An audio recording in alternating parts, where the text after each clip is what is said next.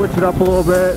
Instead of just talking about me and what I'm doing today, um, I have a video idea, uh, topic.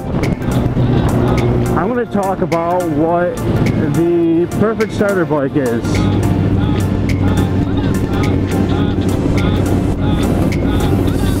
Um, now that is kind of a hard topic to talk about because it really depends on who the rider is. Uh, me, I'm six foot tall. Um, you know, just a little over 200 pounds. Uh, I'm a decent sized guy, I guess.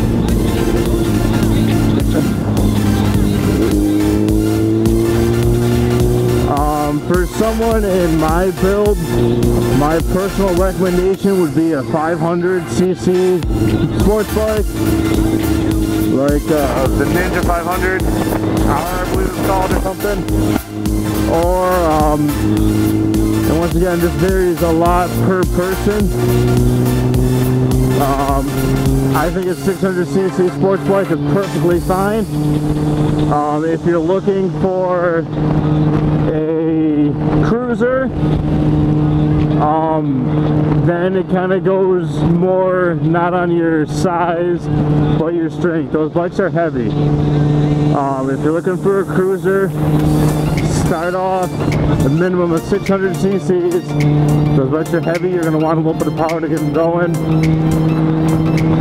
But uh, just make sure you're ready for that weight. You need leg muscles to, to hold it up, back it up, all that good stuff. And you're going to need some arm muscles to control that thing. Um, the weight is a lot higher. And I mean, you kind of got to control that bike with your, with your arms there's, there's not leaning, it's not low end weight, it's not a balanced bike like a, like a sports bike. But uh, mainly, mainly what I'm talking about today is in reference to sports bikes. That's what I ride, that's kind of what I know. Um, me personally, I started off on a 600cc bike. Um, that was four years ago. I was 200 pounds, 6 foot tall. Um, if you're a little guy or a girl, uh, 18 years old or 16 if you, you know, real lucky you can start riding that early. In that case, I would recommend 250 or 300. Those will easily get the job done.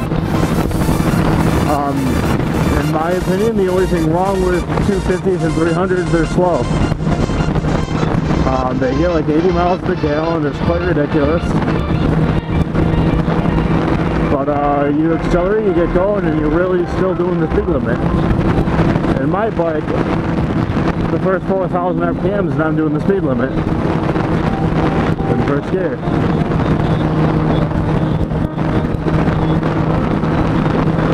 Um, but the difference price-wise between a 500 and a 250 to 300 I don't think is that much.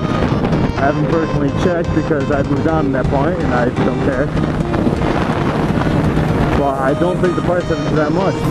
If you're looking at a 250, I would definitely try to get a 300. Um, and now what usually happens is those bikes are kind of considered starter bikes. You gotta make sure you, you get that bike for cheap because you're going to want to eventually sell an upgrade to a 500 or a 600 and uh, then you'll have more top end. You have more power to get out of your own way. Um, so to speak, my opinion of the requirements to start off on a 600, I mean if you're 100 pounds fucking light, you don't need it. But needing is different. If you want it, that's fine. If you want to start on a 600 and you want to go fast on a 600, that's kind of the category of when you shouldn't get it because you're going to use the power and you're not going to be able to control the bike. And it's not because it's a 600, it's just because you're new. You won't be able to control the 250. But a 250 you won't be able to go as fast, as quick, and for that reason you might give it that little bit of buffer to recover from going too fast or getting yourself in a sticky situation. Um, and now I'm on a liter bike, a 1000cc super sport bike. Um, I'll be the first one to say it. This bike is overkill. I do not need a 1000 cc's. Uh, this bike is factory pushing maybe about 160. Uh, has a full wheel VIN. Uh, air filter that I'm told. Uh, and it has a power commander and AETU class.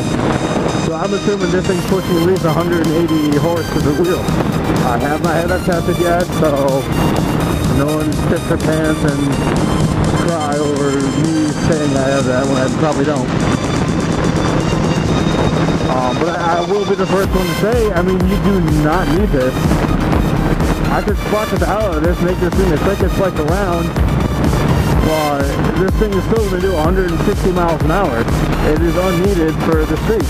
You don't need it, and you shouldn't have it. The reason why I have it is just a novelty. I like the fact that I have a 1000 cc. Um, if I come up on a car, I'm 99% sure I can beat it.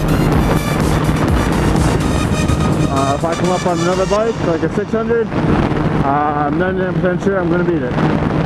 He might get me a return because bikes are 100% on the rider. That's why I got a, uh, a liter bike. So another thing to look for when you're buying your first bike, um, if you're younger, you have to kind of just remember, you're younger, you don't have experience, your insurance will go up. If you buy a $10,000 600cc bike, your insurance is going to be fucking ridiculous. You're probably going to be paying a minimum of $200 a month if not more. I've heard people paying $400 a month for a bike on insurance alone. And I mean, I love riding. I, I think it's worth it, but I mean, if you're eating fucking bread and bologna every day, I'd sell that bike in a heartbeat because it's not kind of worth $400 a fucking month for insurance. Um, so the reason why I'm bringing that up is get an older bike. Don't get a brand new one. Uh, my first bike cost uh, $2,500. I had a 02 Gixxer 600 with 20,000 miles on it. Uh, never dumped it, although a roommate of mine did at that point. And I wanted to kill him. But, oh well, a couple scratches, bike ran fine. Um, insurance, I had basic coverage,